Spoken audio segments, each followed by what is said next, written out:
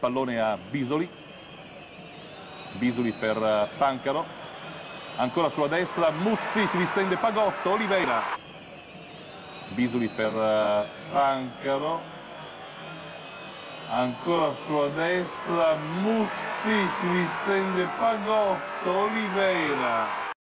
Ed è il gol del 2-1 per il Cagliari dopo la parata di Pagotto.